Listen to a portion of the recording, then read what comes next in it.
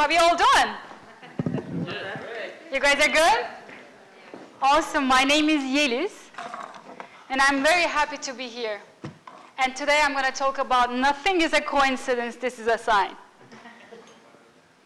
today is a very special day. A very, very, very special day. Because no one in this room came here by coincidence. Think about it. You made a decision in the past and you followed it. And you're here because of a decision you made. Well, I believe that there are no coincidences in life. And your destiny is shaped at the time of your decisions. In 2004, I made a decision. And I said, I want to follow my soul's calling. So I left my hometown, Izmir, and I went to California. Well, I can tell you that it wasn't that easy. I left all my possessions, my family, my friends, and the comfort zone of a stable corporate job. You know what I mean? Uh, so there I was in California in this uh, dream state of mind, but I wasn't in my dream state in person. Uh, I was working part time at a job that I didn't like at all. And I was living with a friend. I actually was sharing a small apartment with my friend. I was literally living on the couch so I could pursue my dream. My dream was to do a PhD at UCLA so I can go out and help people. Help them, support them, so they can have a healthy, happy, wealthy life. But I wasn't even close to it. The only class I was able to take was just Psychology 1, because that was the money that I saved for three months. So, as you can imagine, I wasn't in a very good shape. I wasn't happy with my life and I didn't know what to do. So one morning, I woke up with this huge pain, a lot of pain in my right ovary. So I ended up being at, at the hospital. And there I was lying, and all these doctors were around me, and they were telling me that I have to have an operation, otherwise I will die, because I was having a bleeding cyst. And I'm like, holy moly, I know, I'm not going to use the F word. so I was like shocked. I didn't know what to do. My mind was telling me, how are you going to pay for this? You don't even have health insurance. You're barely paying your share in the house. You're not even realizing your dream. Should you go back to Turkey? What am I going to do? Well, if I don't do the surgery, would a holistic help be able to help it? Would I be able to cure it by myself? What's going to happen to me? I didn't know. And I was in pain. And my mind was constantly talking and chattering and talking and chattering. So I said, okay, I'll take a drive. I don't know if anyone uh, likes driving when their mind is chattering. You know, like driving always relaxes me a lot. It gives me this um, motion of moving forward when I'm stuck in life. So I was driving in my car, the only thing that I had in Los Angeles, California. So I'm on uh, Robertson Boulevard. Has anyone been to LA? Okay, maybe you know the street that I'm talking about. Cool, very cool. So I'm driving on Robertson Boulevard and I'm crying. And I'm crying like crazy because I don't know what to do. And I'm crying, and as I'm crying, I'm like, God, please show me a sign. Just a small sign that everything's going to be okay, that I'll be fine that I will be able to help people or see my dream. Just show me a small sign that everything's going to be okay. I'm crying and I'm driving, and all of a sudden, I saw this big red sign. and it said, Nothing is a coincidence. This is a sign. I'm like, what? So my mom was telling me, go, go, go, go. You just seen an illusion. It wasn't, it wasn't real. You know, you haven't seen that one, keep on going.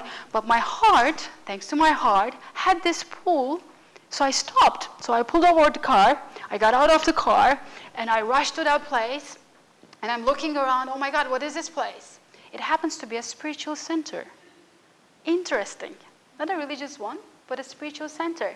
So I'm knocking the door and I'm like, come on, like I'm hearing noises inside. I have to get inside, you know, like this is my sign. Oh my God. But no one answered the door. Hmm, and I said, wow, this is kind of interesting. Maybe it's not my lucky day. So I started to walk towards my car, and as I was walking, a shiny object on the pavement got my eye.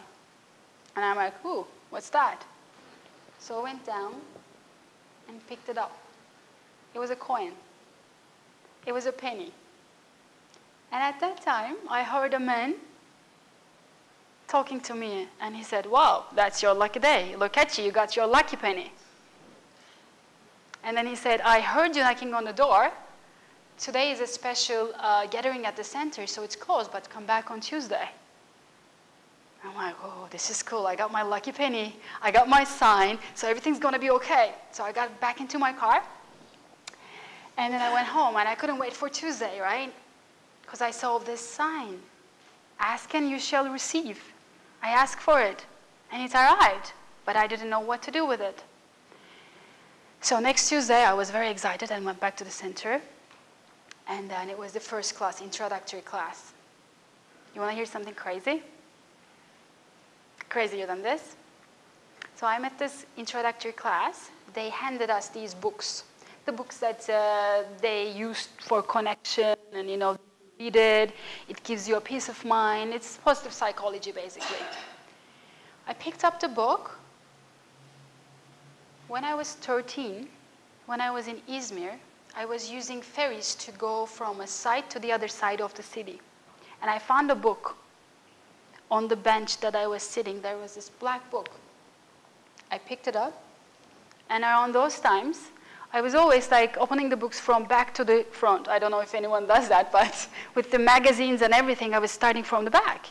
And this time, when I picked up this book, I started from the back and the back was its actually first page. So the book was starting from the back. I'm like, ooh, this is magical. what is this? So I looked inside. It was decoded in a language that I didn't understand. There was a little bit of English in it, but I put it to my bookshelf. Basically, it became a shelf help rather than a self help for a long time. Guess what? The book that they gave us at the center was exactly the same book. How weird is that? I'm like, ooh, this is interesting. This is getting more interesting. So I kept on studying with the center, and I started to help people. I started to go out and help homeless people. I felt for them because I was there. I, I've been there. I knew exactly how they were feeling. And the more I went out and helped them, the more happy I got. Hmm, interesting. So one day, as I'm going one of these uh, connections, thank you.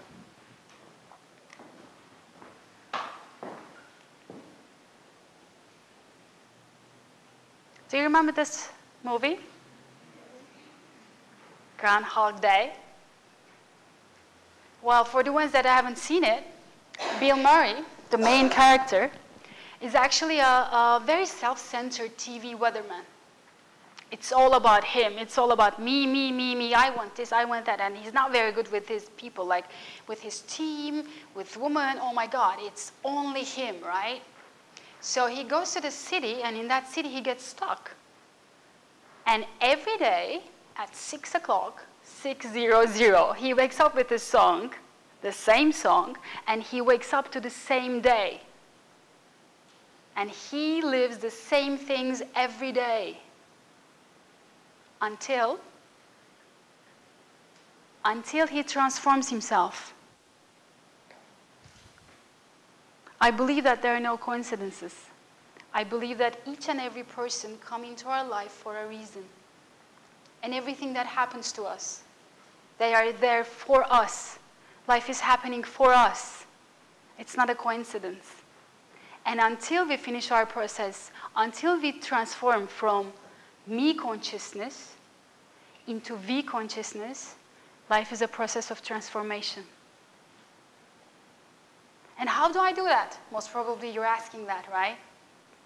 Well, most of you do know about Jung, right?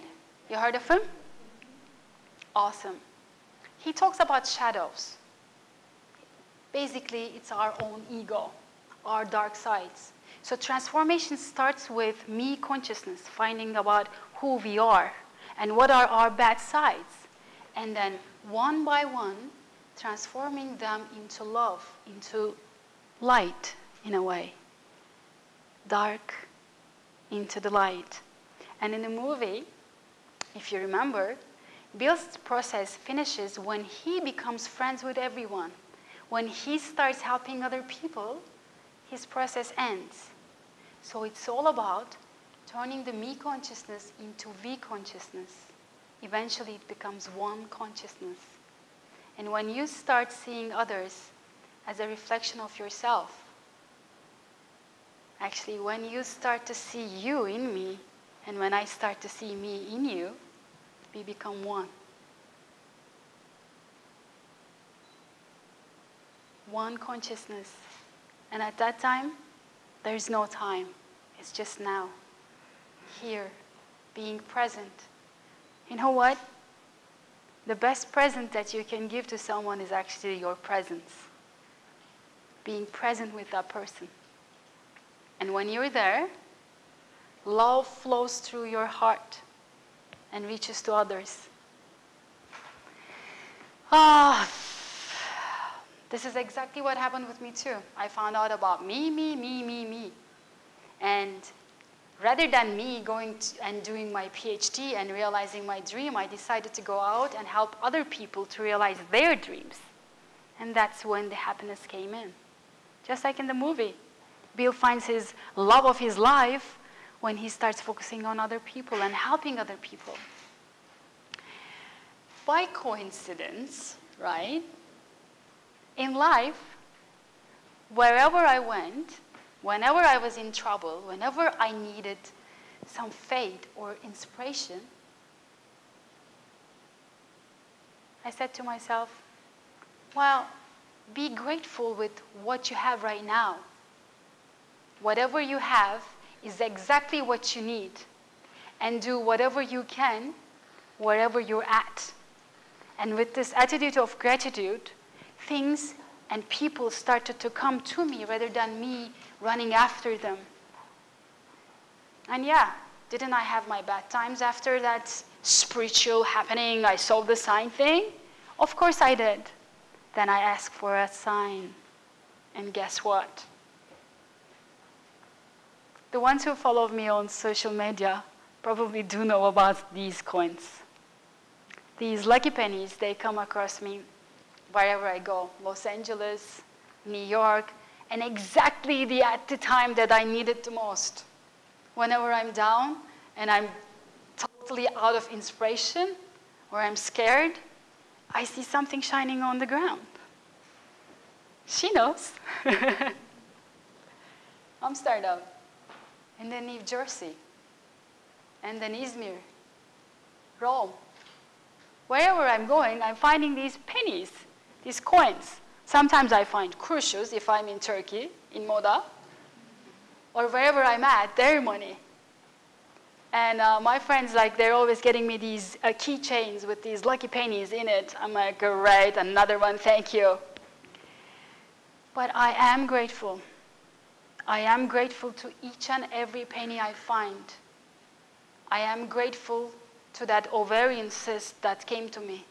I am grateful that I didn't have any money to pursue my dream. But guess what? I learned how to be happy with a penny. And I learned how to transform lives with a penny. I think that was worthless. So today, Wherever you're at, you're exactly where you need to be. And nothing is a coincidence. The more you give, the more you receive. Well, I would like to conclude my speech with a parable that I really, really love. So, this uh, holy man gets into a conversation with God. And then he asks him, Okay, come on. I want to see what hell is and what heaven is.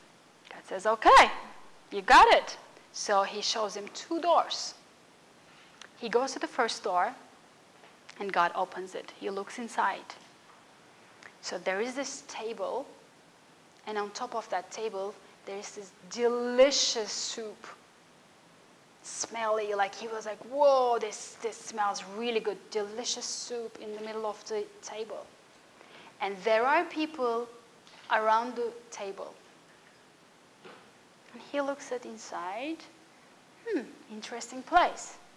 He notices that there are long spoons attached to their arms. And then these people, they're like really thin and tiny and they look miserable and they're constantly fighting with each other.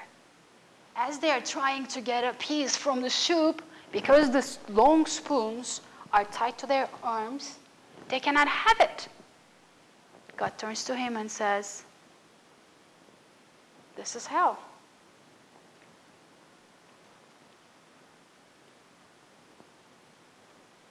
And then he looks at him, okay, let's go to the second door.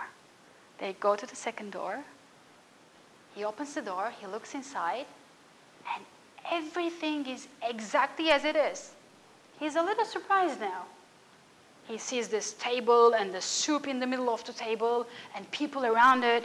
The only difference is these people are very happy. They're healthy. They're laughing. They're talking. And they have these long spoons attached to their arms. You know why? Because they're feeding each other. And God turns to him and says, This is heaven. The more you give, the more you receive. Thank you very much.